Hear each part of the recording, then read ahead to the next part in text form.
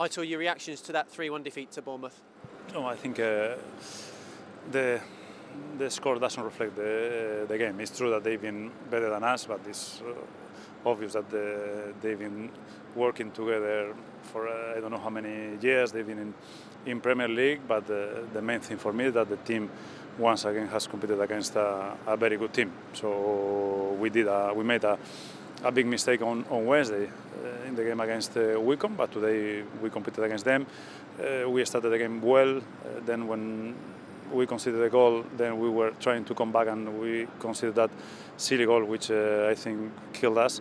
And then in the in the second half, uh, even considering the the third one, always we wanted to score the first, the second, and trying to, to equalize the, the game. So once again, the the attitude of everybody has been brilliant, and now we have two weeks to uh, recover players from their injuries, uh, players who are exhausted because uh, a lot of them has played a lot of a lot of games.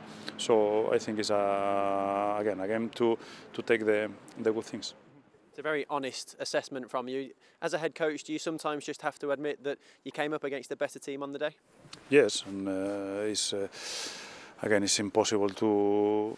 No, it's impossible because we competed against uh, against them. But it's, it's difficult to compete against a team which uh, has been working eight, nine years in the same style, a team which uh, has been in the Premier League the last uh, six, seven years, with the, all of the, their players uh, playing in, in Premier League. And for us, when we have arrived in at, uh, two, three months ago, and then to to try to to equalize the game and to to play as good as we could, it was uh, it was difficult. But again, the, the main thing for me always the attitude is, and I can't say anything bad because uh, they were brilliant players like uh, Mike Kieftenbeld, like Muncy, that they hadn't played and they were ready to to play and they did their best.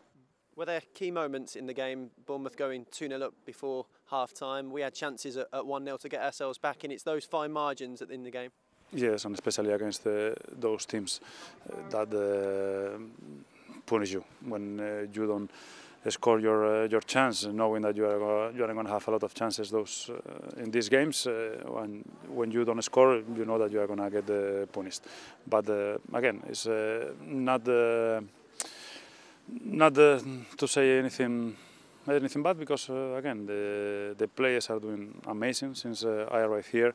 I think the, the atmosphere, the, the feeling is uh, completely different as uh, it was uh, three months ago. So we are in a in a good position. Uh, we can't forget. I said last uh, last game against Wycombe, we can't forget where we were last uh, last year, and it's just to to think about the positive things and the togetherness and to to keep going.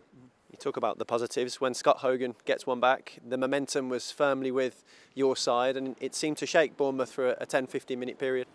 Yes, and uh, even uh, losing the game uh, at that time, we were trying to score the the second one, and uh, it's important for him to to score that uh, that goal because uh, you know he's a, a, proper scorer, and always the first one is, is the is the, the most important. I knew that he was disappointed when when I took him off because he wanted to score the second and the, the third, but I had to, to take my my decisions, and again, it's, it's important that he has scored because especially for his confidence, it's going to be really really good sticking with the positives. There was no lack of belief out there with plenty of time left on the clock. Your players kept pushing, kept trying to get back into the game. You can see there's a togetherness amongst them. Yeah, I think it's uh, the main thing that the, that the togetherness uh, was on the sixth three months ago when when I came here. Uh, and especially the first game. And uh, I said, and I will say a lot of times, that uh, it was an important game for, for me because I started to realize that I had to change a lot of things. And uh, the, the, again, the atmosphere, the, the spirit of the team, the togetherness, I think is completely different. Players who didn't play well last year, they are playing amazing this, uh, this season. And the players who have come this season are uh, helping us a lot. But now we have to understand again that a lot of players who have come this uh, year haven't done a proper preseason. Players like Gaza, like Juki, haven't done the proper preseason. So again, I think it's a, a moment to be not happy because I, I'm, uh, I'm never happy when uh, when I lose a game. But uh, the main thing is uh, to be positive. Caolan Boyd-Munce came in for his first full league debut. No Kristian Pedersen in the squad. How is he? He's better he finished the game uh, a little bit dizzy last uh, last Wednesday, so he couldn't play today. But uh, with Munsi, I knew that when uh, I, I was uh, gonna needed him, he was gonna be good because he's the kind of kid that is always uh, ready. You don't need to tell him anything because you know that he's he's ready. And I'm really pleased for him because he could play and he could show that he can be part of the squad. You've complimented Maikel Kieftenbeld's attitude as well, even when he's not been in the matchday squad, and he never lets you down.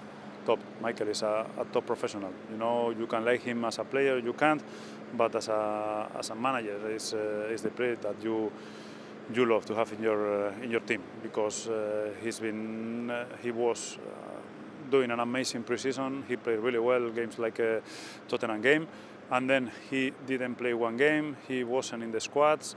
But you know, he's another player who you know that when uh, he's going to play, he's going to try his, his best.